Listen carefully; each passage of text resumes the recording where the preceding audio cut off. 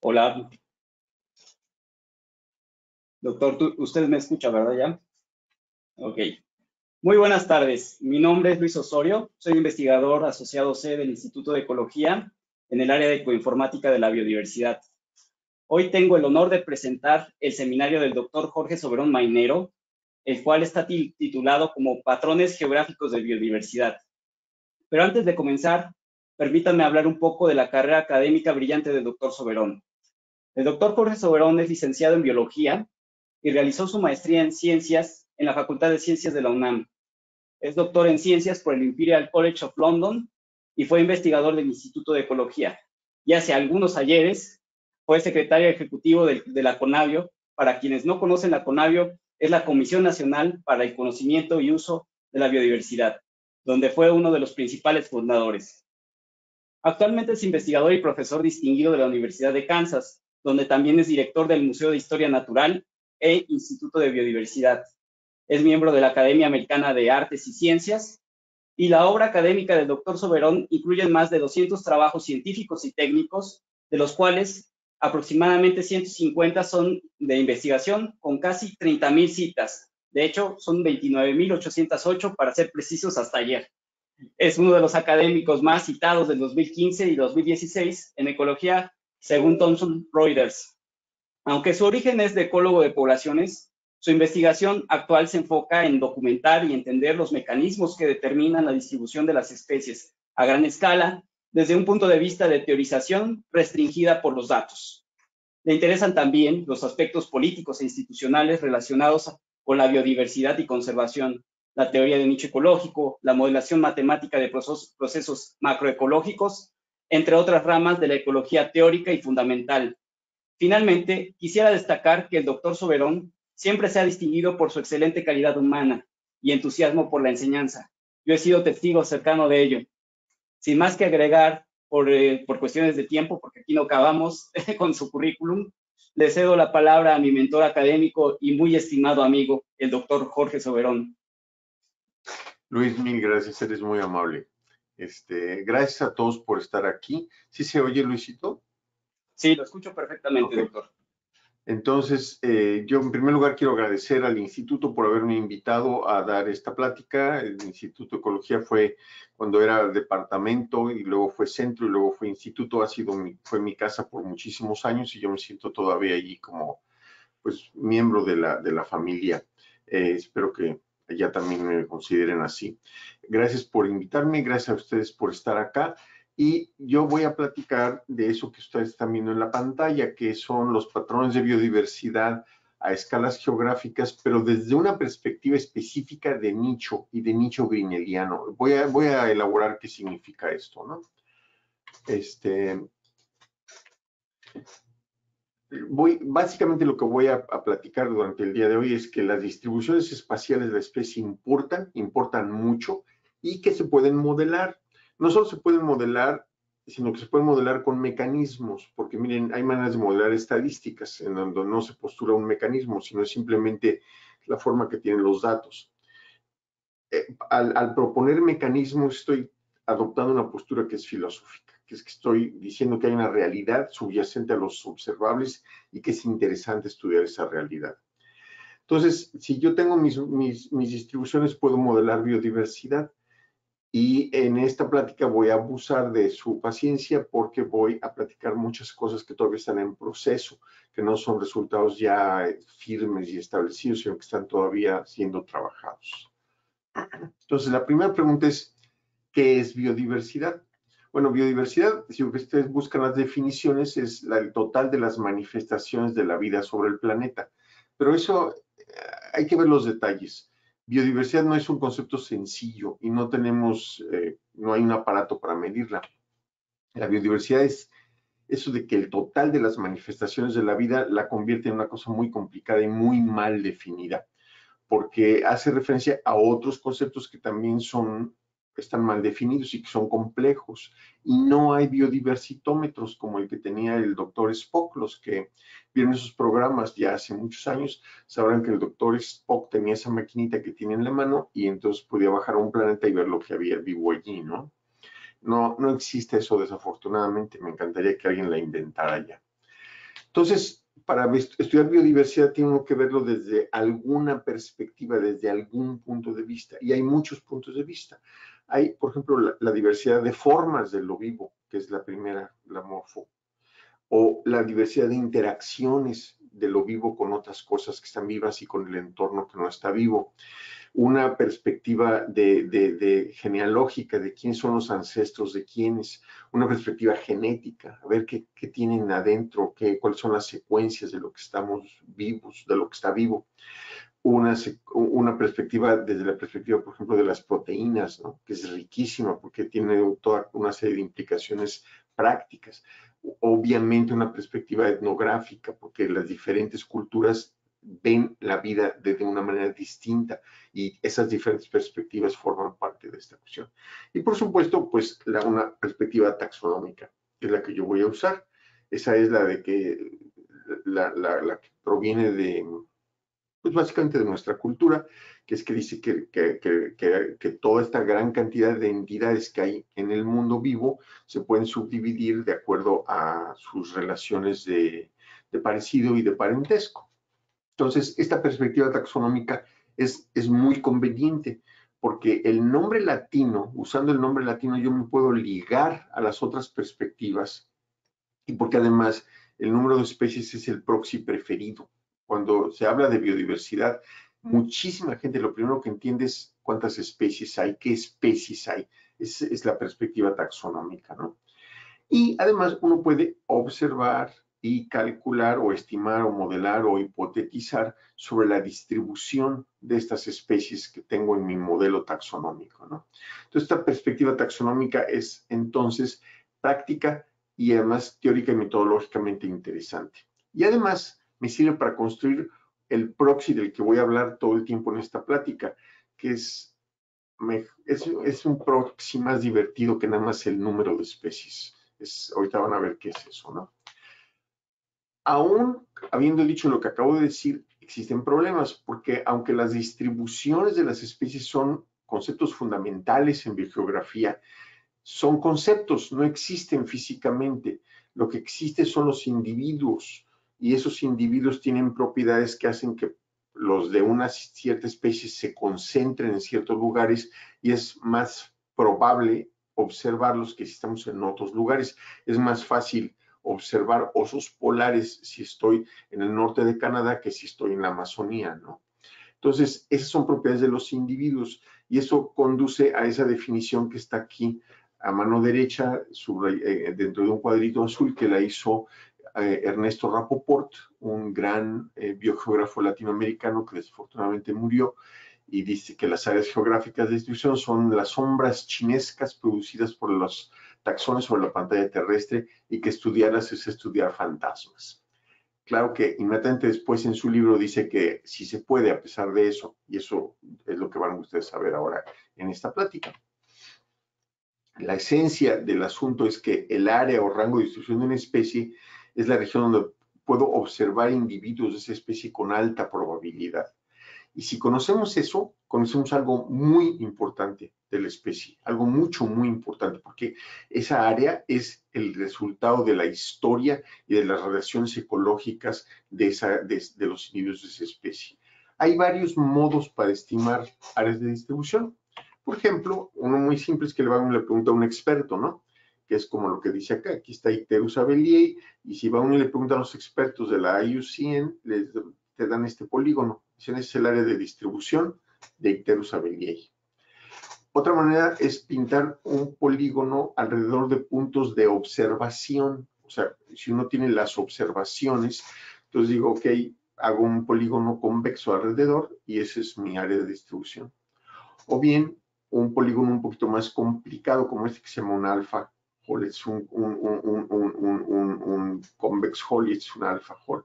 Eso también hay métodos para hacerlo. O el que inventó Rapoport en el libro ese que les puse en 1975, que le llamó el método de la propincuidad media y que se hace unos como circulitos alrededor y luego les borra las fronteras. ¿no?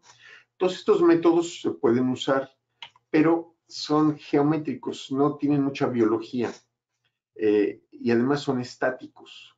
O sea, yo ya hice mi convex hall qué tal que cambia el clima o qué tal que cambia el paisaje porque hubo una expansión de la frontera agrícola, ¿no? No hay mecanismo, no, no, no hay un avance conceptual. Uno puede pintar ciertamente esos polígonos convexos alrededor de puntos de observaciones, pero no nos, no nos dice nada del porqué de, la, de, que la especie esté ahí presente. En ese sentido son métodos completamente positivistas, son como los epiciclos de Ptolomeo, si se acuerdan ustedes de cómo en la antigüedad los movimientos de los planetas alrededor de, bueno, se creía que era alrededor de la Tierra, estaban representados por unas cosas que se llaman los epiciclos.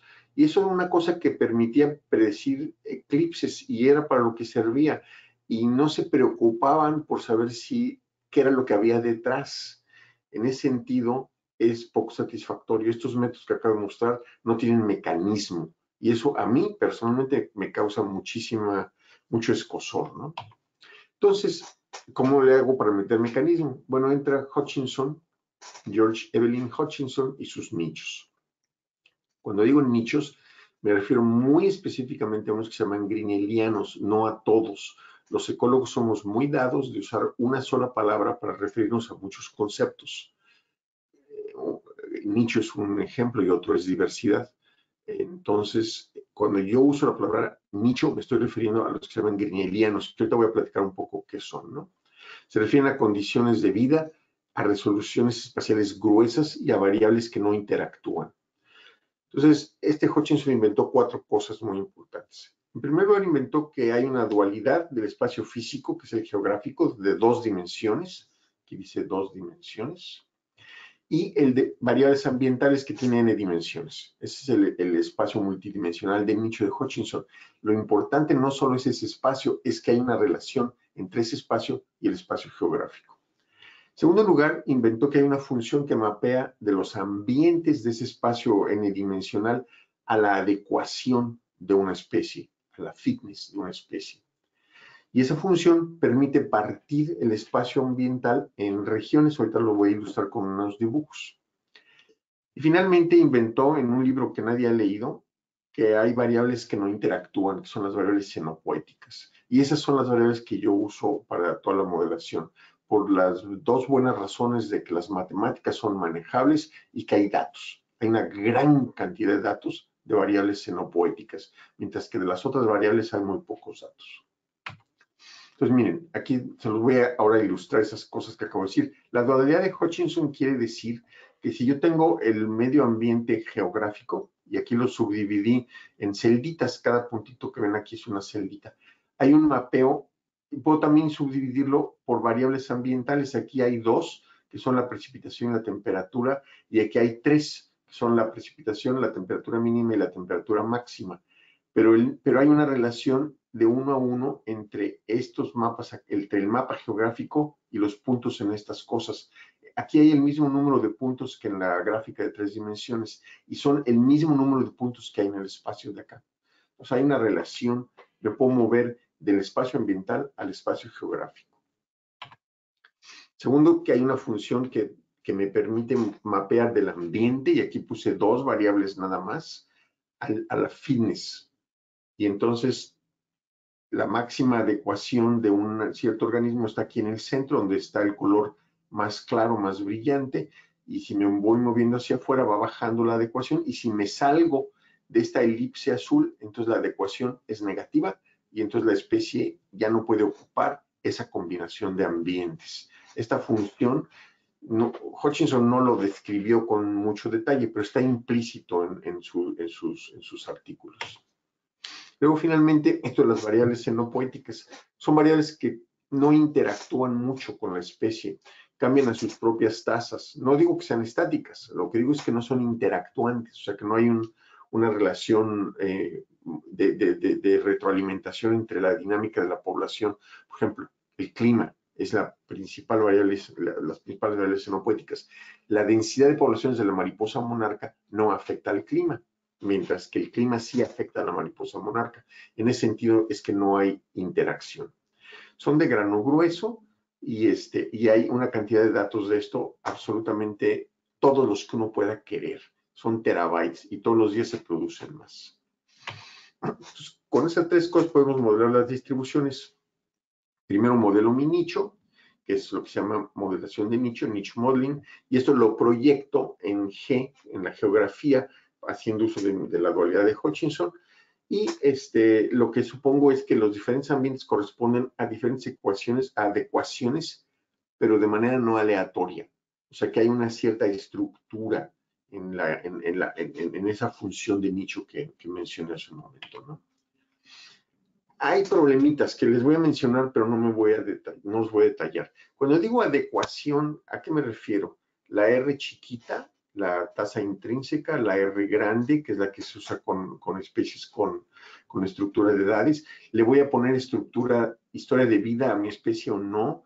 La R la voy a considerar determinista o estocástica. Le voy a meter efectos ALI o no.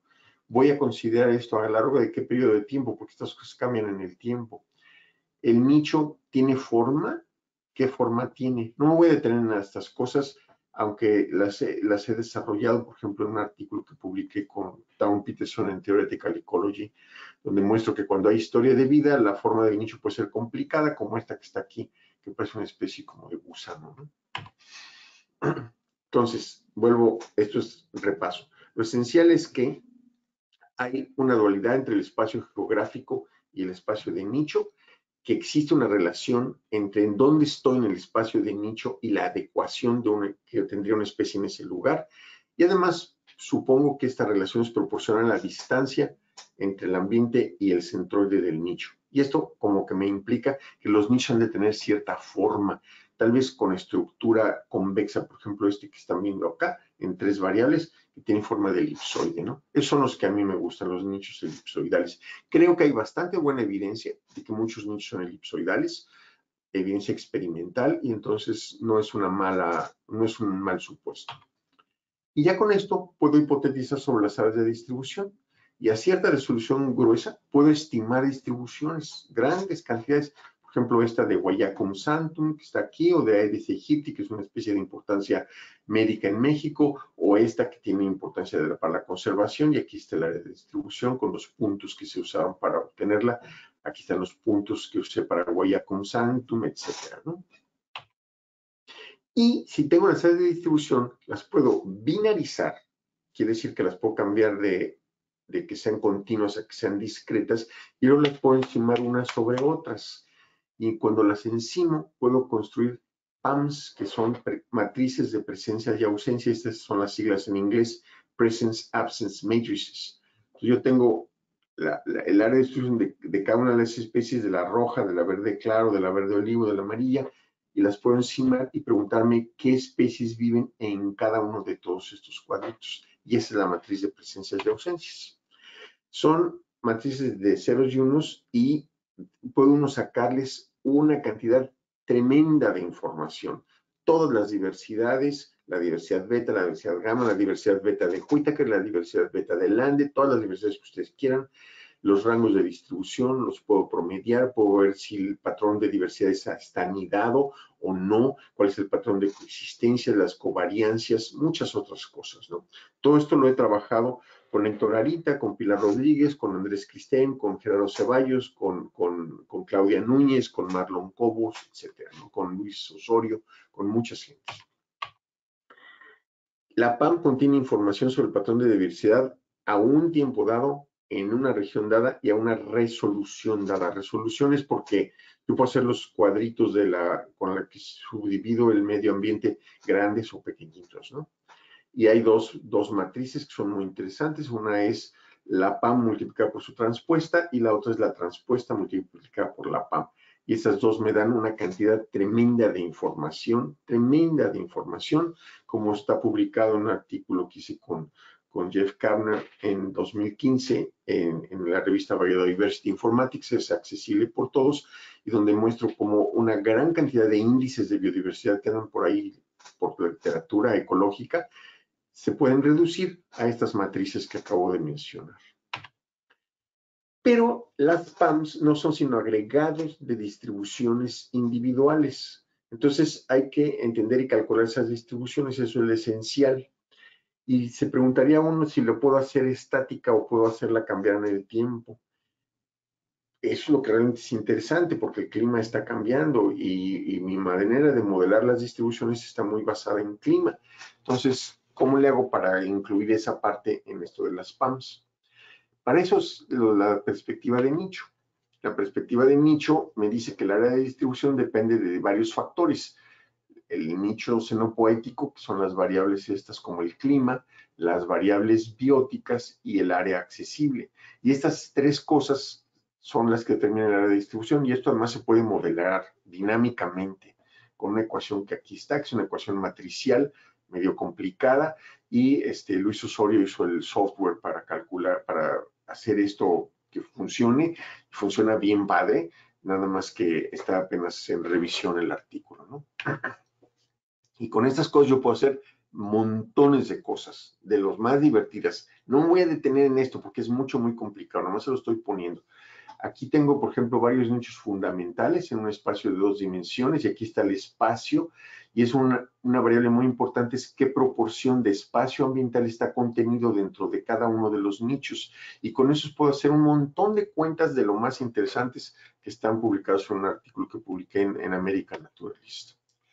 Entonces ya con esto me puedo aventar a proponer una propuesta que es tremenda, que es que mi proxy de biodiversidad no va a ser el número de especies. Mi proxy de biodiversidad, cuando uso la palabra biodiversidad, me estoy refiriendo a una PAM. Mi, mi proxy es la PAM completa, la matriz completa, no nada más el número, sino toda la matriz.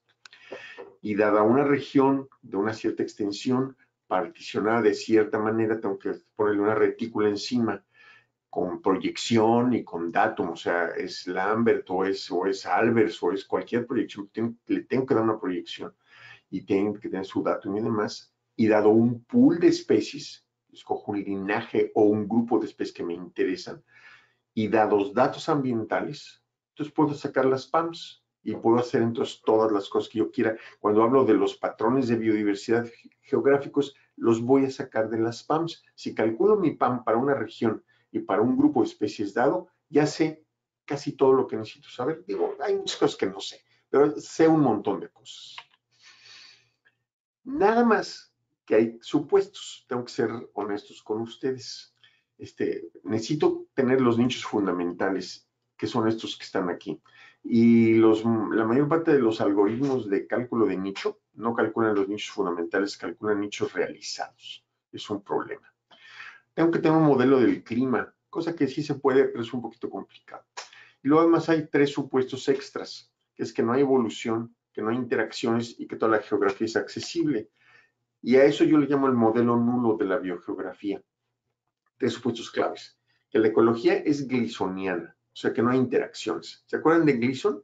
Que decía que lo único que determinaba qué especie había en un lugar era el ambiente físico y no las interacciones, es lo opuesto de lo que pensaba Clemens que es que todo era una especie de gran organismo, ¿no? Entonces, la ecología es la de Gleason. Segundo, que la dispersión es la de Hutchinson, que es que toda la región es accesible. Bueno, si se hace la región un poco grande, pues no todas las regiones son accesibles a todas las especies, pero lo tengo que suponer para poder hacer las cuentas que voy a hacer. Y en tercer lugar, que la evolución es la que se usa en el estado de Kansas, que es donde yo vivo, que es en pocas palabras que no hay evolución, porque aquí la gente no cree en la evolución. Entonces, son mis tres supuestos. Esos son tres supuestos debatibles que se tienen que ir relajando y mejorando, ¿no? Entonces, ¿se pueden mejorar? Sí, sí se puede, con un poco de trabajo. Es como buscar el santo grial y la diversión de lo del santo grial era buscarlo, no tanto encontrarlo, ¿no? Entonces sí se puede. Y voy a comentar un poquitito de eso en lo que sigue.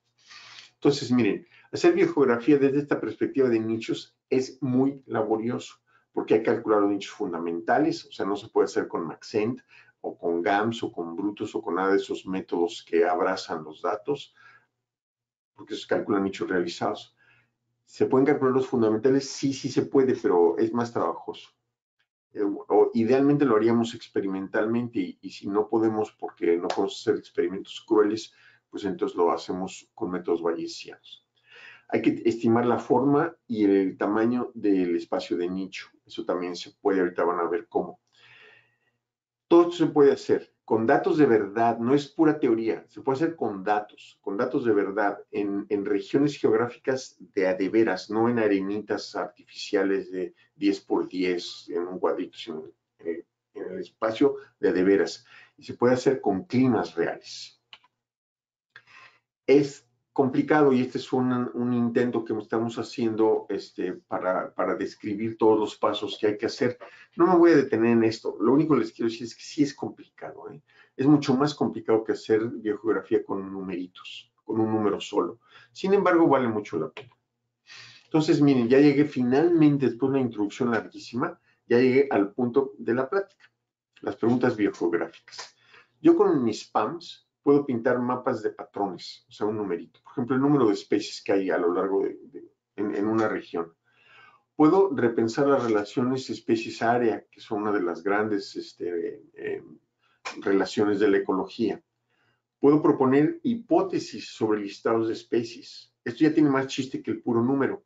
Las dos primeras son sobre un número, el número de especies, pero puedo proponer hipótesis sobre las listas. Y esto ya tiene más chiste, porque una lista no es nada más 25 especies, les voy a decir cuáles especies.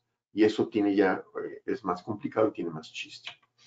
Entonces, miren, les voy a poner ya ejemplos. primer ejemplo es con patrones de riqueza de polinizadores de lo que se llama Megaméxico.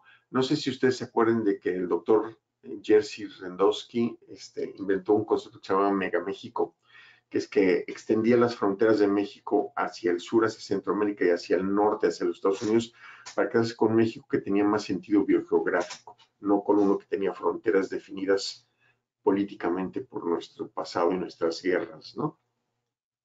Entonces, la región es Megaméxico y lo hicimos a tres resoluciones diferentes, que son eh, cuadritos, una retícula de 4 kilómetros de lado o de 9 kilómetros o de 20 kilómetros. Y como linajes, para hacer el análisis, mm, pusimos a todas las abejas, todos los colibríes, todos los esfíngidos, que son mariposas nocturnas, que son polinizadoras, y todos los murciélagos de la subfamilia Glossophagineae, que son los que polinizan agaves sobre todo.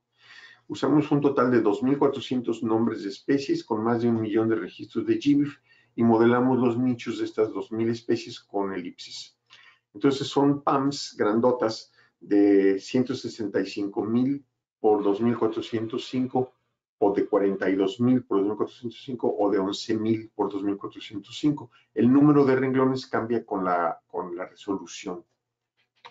Entonces este es un ejemplo de lo que sale yo puedo de ahí, de, esa, de esas PAMs que, que se calcularon con los datos de Ángela y, con y con el software que hizo Luis Osorio, se pueden calcular, por ejemplo, el número de especies. Aquí está el número de especies de todos los polinizadores en Megaméxico, encimados.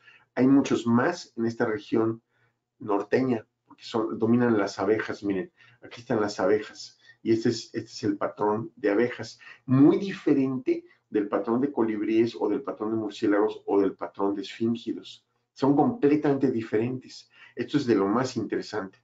El, artículo primero ya, ya está, está en prensa en la revista mexicana de biodiversidad y los análisis esotéricos que estamos realizando ahorita, pues los queremos someter a los proceedings de la National Academy of Sciences de los Estados Unidos, que es una revista más complicada de publicar, pero vamos a ver qué tal sale. Entonces, el primer artículo ya está en la revista mexicana de biodiversidad. Son gráficas de ese artículo.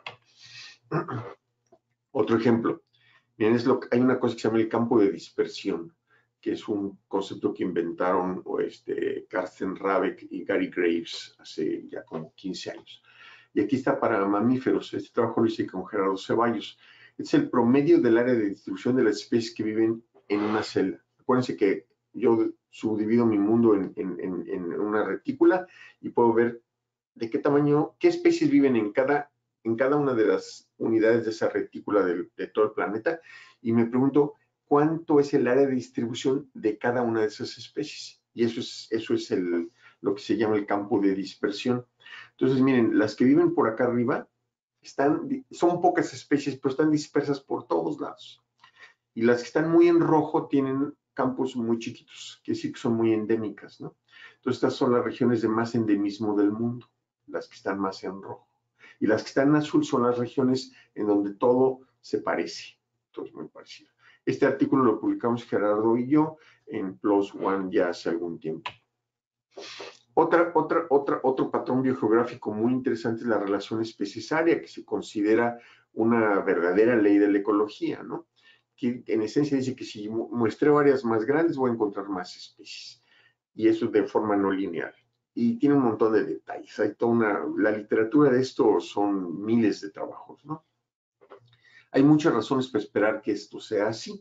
Por ejemplo, al aumentar el área hay más hábitats, entonces puede que haya más especies, o hay más individuos, también puede que haya más especies. Y por último, si yo aumento el área, va a haber eh, menos extirpaciones de especies y probablemente más colonización. Entonces, son tres de las varias razones que han encontrado para explicar la relación especiaria.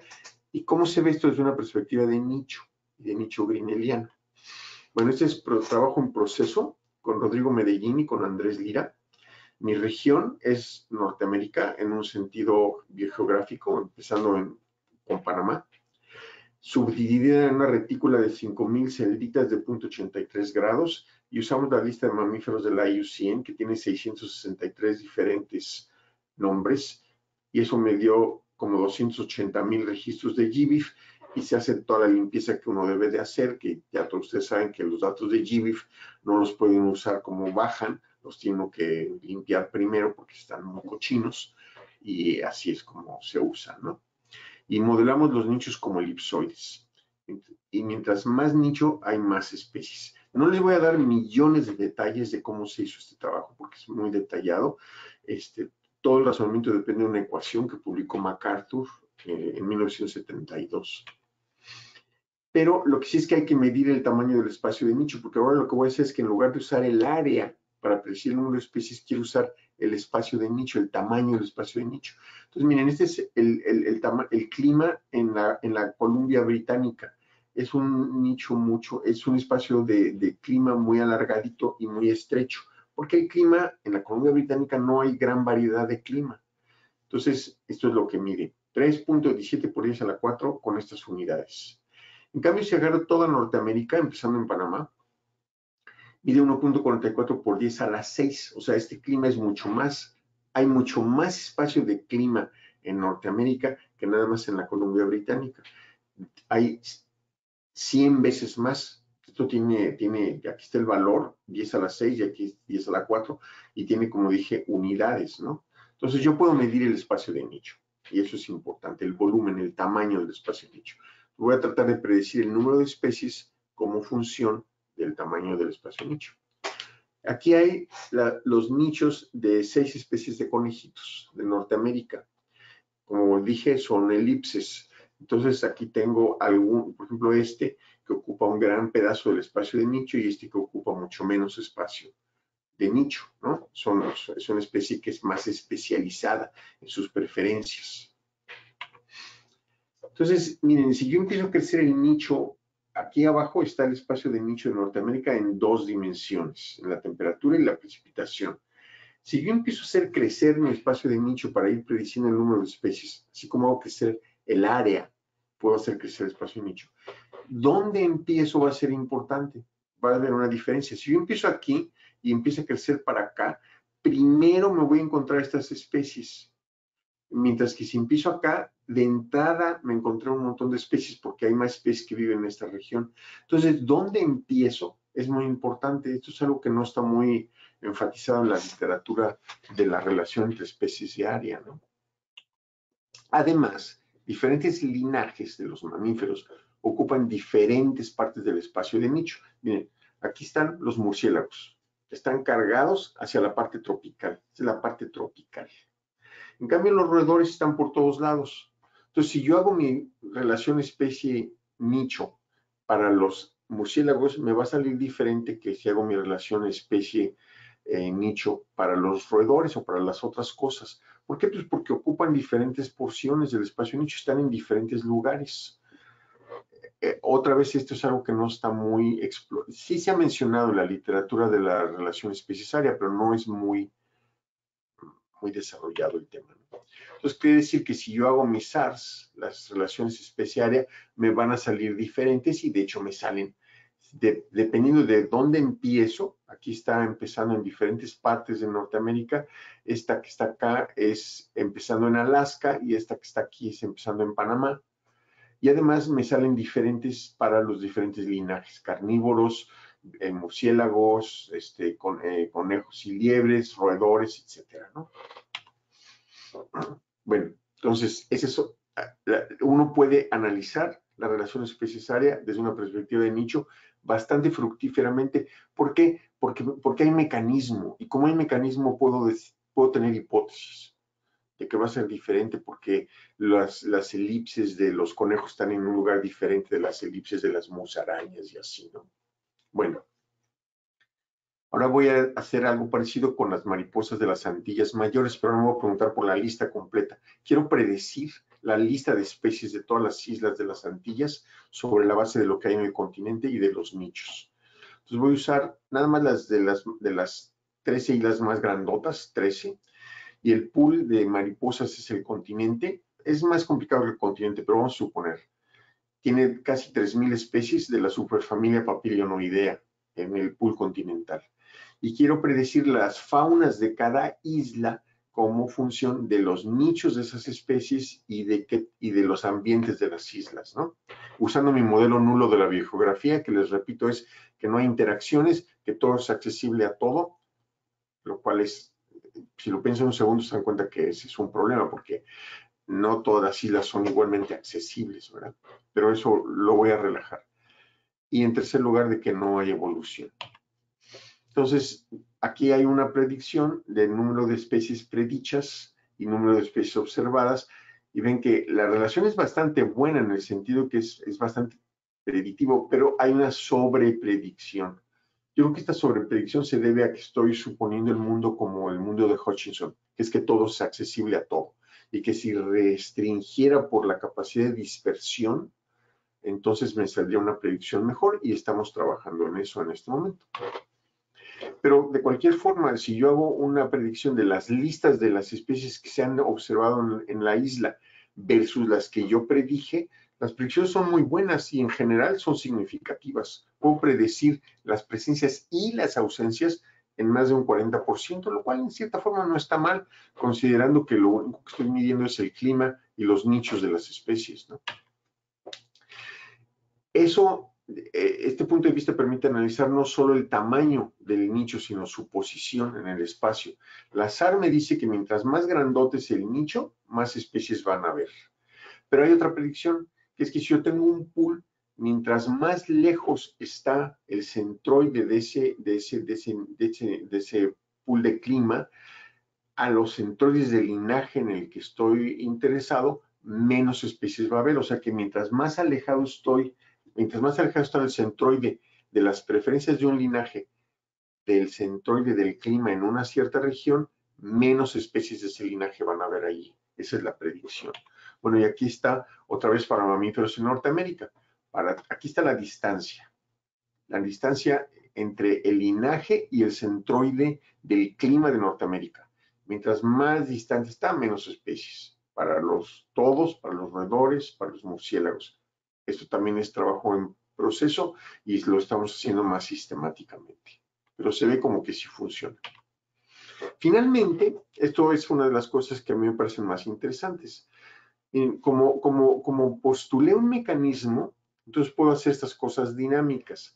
Esos puntitos que ven ustedes ahí moviéndose en la pantalla son, es el clima de Norteamérica en dos, en dos variables, que son la temperatura y la precipitación y cada punto es una localidad. Geográficamente no se están moviendo, pero su clima está cambiando y aquí está hace cuántos años fue, hace 50 mil años, hace 60, 70 mil, 80 mil y así, ¿no? Entonces, esto es como está cambiando el clima dependiendo de en dónde están ustedes, para dos variables. Esto es con unos modelos generales de circulación y los datos vienen del centro Hadley de modelación de clima que está en, en Inglaterra. Entonces, como, como, como el clima está cambiando, yo puedo intersectarlo con los nichos de las especies. Aquí está el nicho de, de, berrendo y pues había partes, había ciertos tiempos en donde había montones de puntos dentro del nicho y otros en que hay pocos, y eso hace que esté cambiando el área de distribución, como ven acá. Y como dije hace al menos principio, yo puedo superponer todas las áreas, puedo hacer esto mismo para todas las especies de mamíferos de Norteamérica. Y entonces me sale esto, ¿no?